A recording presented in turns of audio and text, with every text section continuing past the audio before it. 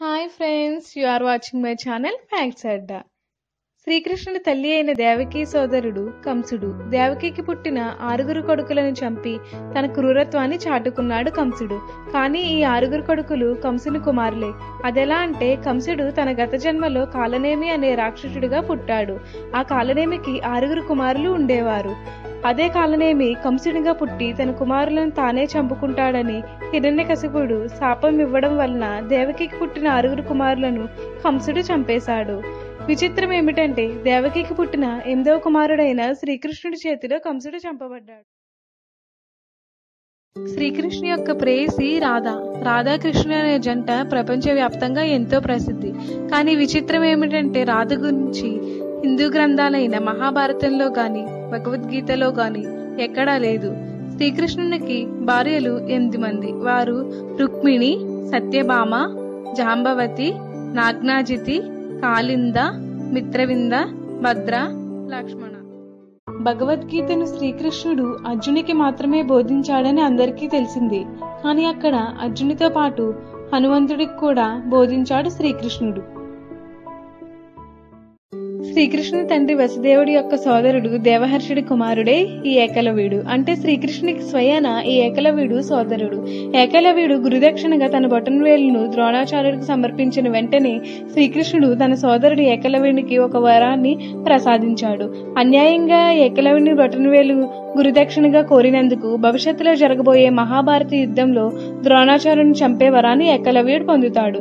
అందుకే మహాభారత యుద్ధ సమయానికి ఏకలవ్యుడు తన మరో జన్మ దృష్ట్యా దృష్ట్యాద్యమునుగా పుట్టి తన గురువైన ద్రోణాచార్యుని స్వయంగా తన చేతులతో చంపి గురువును చంపిన శిష్యుడిగా అయ్యాడు.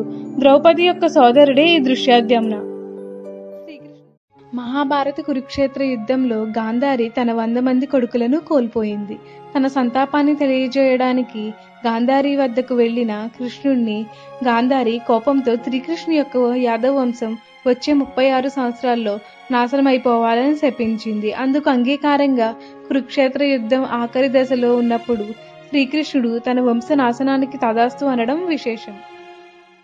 మహాభారత కురుక్షేత్ర యుద్ధంలో పాల్గొన్న పాండవుల తల్లి కుంతీదేవి. కానీ ఈ కుంతీదేవి శ్రీకృష్ణుని తండ్రి వసుదేవుని యొక్క సోదరి కావడం విశేషం. అంటే స్వయాన శ్రీకృష్ణునికి మేనత్త. మహాభారత శ్రీకృష్ణుడికి గాంధారి శాపం తర్వాత మళ్ళీ శ్రీకృష్ణుడు అత్యంత కోపిష్టి మహాముని దుర్వాస శాపానికి గురయ్యాడు. ఒకరోజు దుర్వాస శ్రీకృష్ణుని ఆవు పాలతో చేసిన పాయాసాన్ని తన శరీరమంతా పూయమన్నాడు.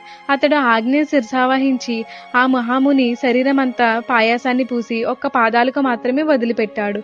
అందుకు కారణం ఆ ముని పాదాలు భూమిని తాకడమే. దానికి కోపంతో ఆ ముని శ్రీకృష్ణుణ్ణి నీ పాదాల ద్వారా మాత్రమే నీకు మరణం కలుగుతుందని శపించాడు. జారా అనే వేటగాడు జంతువనుకుని వేసిన బాణం శ్రీకృష్ణుని పాదాలకు తగులుతుంది. వెంటనే శ్రీకృష్ణుడు మరణిస్తాడు. దానికి కారణం త్రేతాయుగంలో రాముడు వాలిని చెట్టు వెనక దాగి బాణం వేసి చంపుతాడు. అందుకు బదులుగా శ్రీకృష్ణుడిగా పుట్టిన రాముడు వేటగాడిగా పుట్టిన వాలి చేతిలో మరణం పొందుతాడు.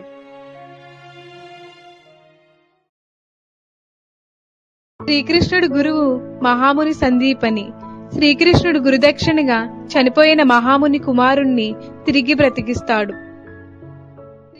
శ్రీకృష్ణునికి పదహారు వేల ఒక్క వంద మంది గోపికలు ఉన్నారని మనకి తెలుసు. దానికి కారణం నరకాసుడు అనే రాక్షసుడు పదహారు వేల ఒక్క వంద మంది గోపికలను అపహరించాడు. ఆ రాక్షసుడిని చంపి వారిని విడిపించాడు శ్రీకృష్ణుడు. కానీ ఆ గోపికల కుటుంబాలు వారిని ఆదరించలేదు. అప్పుడు శ్రీకృష్ణుడు ఆ పదహారు వేల ఒక్క వంద మంది గోపికలను భార్యలుగా స్వీకరించాడు. కానీ వారితో ఎప్పుడు ఎలాంటి శారీరక సంబంధం పెట్టుకోకపోవడం శ్రీకృష్ణుని గొప్పతనానికి నిదర్శనం.